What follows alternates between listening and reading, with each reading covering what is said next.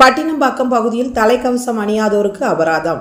சென்னை மயிலாப்பூர் சரக போக்குவரத்து ஆய்வாளர் சகாதேவன் வழிகாட்டுதலின்படி போக்குவரத்து துறை உதவி ஆய்வாளர் ஆர். பத்மநாபன் பட்டினம்பாக்கம் லூப் சாலையில் தலைக்கவசம் அணியாதோருக்கு அபராதம் விதித்தார். உடன் போக்குவரத்து தலைமை காவலர் பலவேட்டான் இருந்தார். வின் எக்ஸ்பிரஸ் செய்திகளுக்காக சி. தமிழ்ச்செல்வன்.